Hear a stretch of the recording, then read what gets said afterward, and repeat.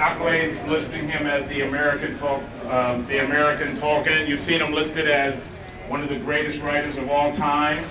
Um, we had a chance to speak back back back in the uh, in the wonderful green room. Those of you that are inside, don't don't reveal that there isn't really a green room. Um, we had a chance to speak about a lot of issues and a lot of current uh, events as well. I want to tell you, I was I am so excited to have him here. Uh, our staff is so excited to have him here. And without further ado, ladies and gentlemen, George R. R. Martin.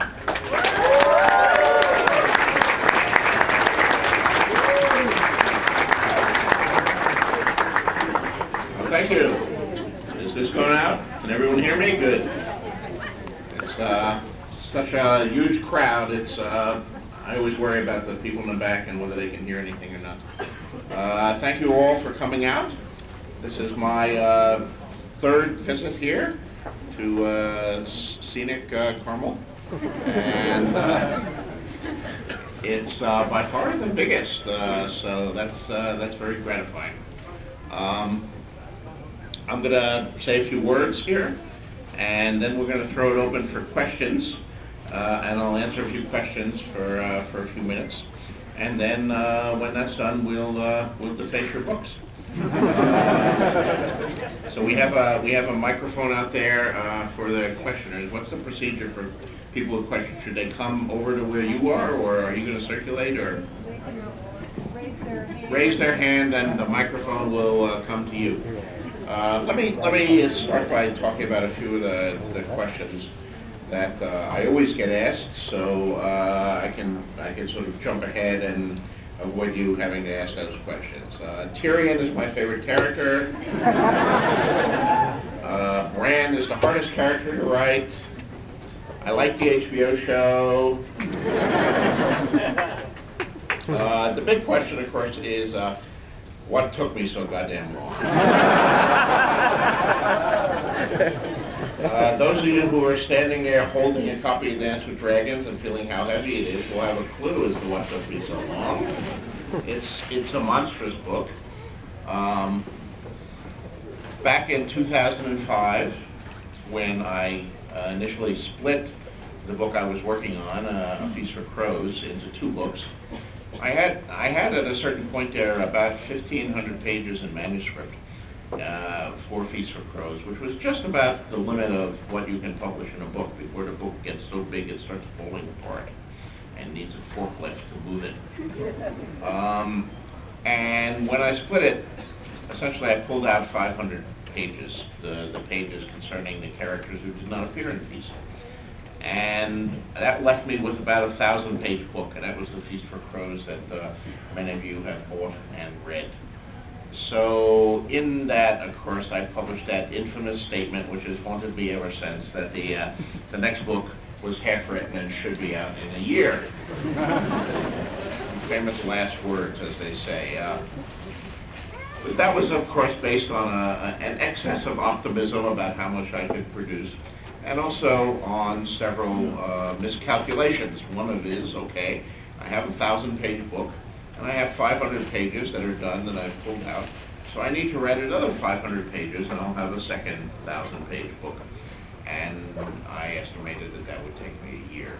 The, the two things I didn't count on is, well, Dance with Dragons is not a thousand page book like Feast in manuscript. It's, it was a 1500 page book in manuscript. So uh, it required 500 more pages than I thought that I would have to write. I wasn't writing 500 additional pages. I was writing a thousand additional pages. And also, when I actually got into the writing, I discovered that uh, I didn't like some of those 500 pages I pulled out of Feast.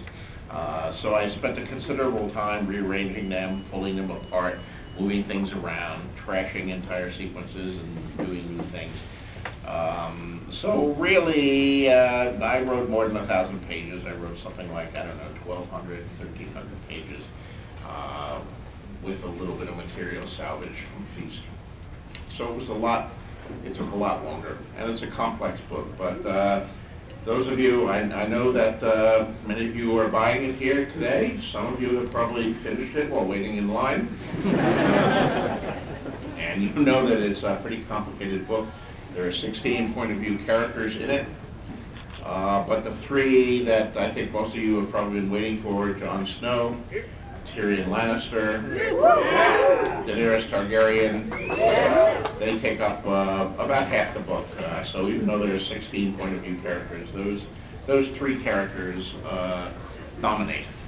Um, In addition to those three, we have, uh, we have new characters, brand-new characters that you've not met before, who are points of view, and we have new point of view characters, characters that you are familiar with, who have appeared in previous books, but uh, have never before had a point of view, so you'll be going inside their head for the first time.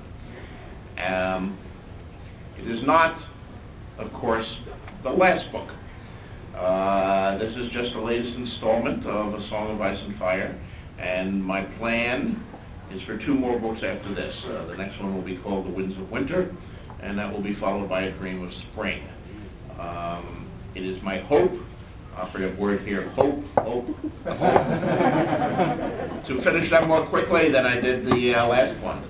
But I'm not making any promises or writing anything in blood or guaranteeing anything. Uh, I've learned my lesson from uh, what happened the last time around. So now, if anybody is tempted to ask me when the next one will be out, uh, my answer is it will be done when it's done, and not a moment beforehand, because uh, it does it does take a long time. Um, so those are the frequently asked questions about dance. Now, the other question I get asked a lot, of course, is about the HBO series. Uh, yes, I love the HBO series. I'm very excited. I know many of you here today have probably just discovered the books because of the HBO series. It's uh, it's been kind of fun for me to uh, to find a whole new readership, many thousands and tens of thousands and indeed hundreds of thousands of new readers uh, who've enjoyed the show on HBO. I think uh, David Benioff and Dan Weiss, who are the showrunners, uh, have done an incredible job of bringing my story to the small screen. Um, I am involved in the HBO show, as some of you know. I'm a co-executive producer on the show. My deal is that I write one script per season for the show. In the first season, I did episode eight, The Pointy End was my script. Uh, for the second season, I've already completed the first draft of Blackwater, episode nine, Yes. which, uh, you know, is going to show the Battle of the Blackwater, and I, I hope we have the money to do that. That's a big challenge. I didn't, didn't make it easy. The, the bastard who wrote the book really didn't make it easy. He has uh, hundreds of ships and, and uh, chains and trebuchets and wildfire and uh, horses and everything that makes it impossible to film uh, is in there. So, uh, you know, I'm hoping we won't just have someone standing on the wall looking and saying, oh, look at what's happening.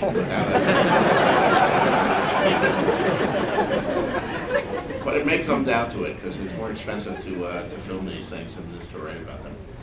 Um, I'm very gratified, tho- those of, many of you probably know this already, but uh, for those who've been not watching their television sets or hiding under a rock, yesterday morning, the Emmy nominations were announced, and Game of Thrones has been nominated, has gotten 13 nominations, including uh, many of the technical categories like, uh, you know, costuming and makeup, uh, special effects, uh, which is great, but we've also been nominated Best Director, Tim Van Patten, for his work on the pilot episode, Winter is Coming, Best Writing, Benioff and Weiss for episode 9, Baelor, uh, and Best Supporting Actor, Peter Dinklage for his And the most exciting of all, of course, uh, Best Dramatic Series, uh, where we'll be going up against the cream of uh, television, you know, Mad Men and The Good Wife, and uh, many other uh, really, you know, kind of first-rate shows. HBO's own Boardwalk Empire has a real all-star list, so it's quite a coup to be nominated as uh, Best Drama. And, uh, you know, I hope we win, but we'll see. That's in September, you'll find out the results of the Emmys. Meanwhile, the show goes into production for its second season at the end of this month. I think Yeah. July 25th, we resume uh, filming in Northern Ireland. And uh, the scripts are being written and rewritten, and We're, you know, crunching our budgets and we're hiring actors. I think a couple of them have already been announced. Uh, Natalie Dormer will be playing Margaery Tyrell. You probably know her best from her role in The Tudors, where she previously portrayed uh, Anne Boleyn in the uh, Showtime show The Tudors. We've also got a, a, a young actress named Gwendoline Christie, who will be playing Brienne, the Maid of Tarth. And I haven't, I haven't met her, but her audition was extraordinary, and she's six foot three inches tall, so she's going to tower over many of our people. She should be a superb, uh, a superb Maid of Tarth for us. There are actually about a half dozen other roles that have been cast, but we're waiting for the deals to close, and so we can't annou- announce them yet. I, I hope I'll be able to announce some of them next week at the uh, San Diego Comic Con, but we shall see. So uh, don't ask me about those because I can't tell you. and if I did, I would have to kill you. Um, British, British and uh, Irish actors, of course, chiefly, since our main shooting location is in Belfast. So if any of you out here in this crowd are indeed aspiring actors, please don't give me your resume and your 8 by 10 glossy. I can't, uh, you know, really do anything for you. Unless, of course, you're an extremely cute young girl and maybe, well... Uh, No, forget that. Uh, So, um, you know, that covers some of the frequently asked questions. Uh, Why don't we throw it open and uh, get some questions, questions from you guys, and I'll uh, answer them for a while. Lori has the mic. difficult was it, and to what extent did you have to relinquish creative control um, for the series? And can you do anything to help the writers be a little less sexist because they could use a few tips from you? Uh, I had to completely relinquish creative control, really. Uh, You know, the realities of Hollywood is, is that everything is negotiation. And if you're J.K. Rowling, you can insist on veto power because you have a property that's so hot that every studio in Hollywood wants it. But if you're not J.K. Rowling, and I don't actually happen to be J.K. Rowling, uh, or Stephen King, or one of those people, uh, you know, you, you, the studios won't give up control. Control is very important. Um, so the most you're going to have is influence. Now, a lot of writers simply just sort of take the money and then distance themselves from the show. I wasn't willing to do that. So I have a certain amount of influence. I am a co-executive producer on the show. I write one script per season. And I, uh, you know, I have a voice in all the casting, uh, but it's only a voice. I mean, I, I can't veto a casting if I don't like it. Uh, sometimes I have a choice, and David has a choice, and Dan has a choice, and the director has a choice. We all argue it, and someone wins and someone loses. But uh, you know, thankfully, these debates are usually between any one of half a dozen actors, all of whom would be good. And the question is to find which one is the best. Um, but you can't get any actual veto power. So, you know, I think they're doing a wonderful job so far, but, uh, you know, if something happened uh, and they stopped doing a wonderful job, I, I unfortunately would not be able to pre- prevent it in any sense. I would just have to uh, kind of grit my teeth.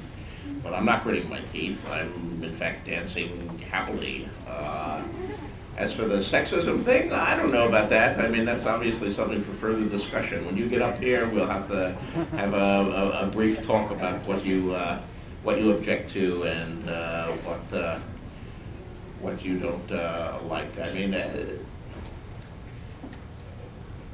well, sexism and sex is two different issues here. I, I mean, I, you, you you said sexism is what you're objecting to. Oh, I have no problem with sex. Yeah, no problem with sex. That's good to hear. Um, Yeah, I mean, HBO is an adult channel, and they're always going to have uh, some adult content. One of the things that all the cable networks do, not just HBO, but Showtime and Starz and all these subscription things, is they have to offer something that you can't get on CBS or ABC in order to get people to pay that monthly fee and subscribe. And uh, more adult content is, is one of the things that they, that they offer.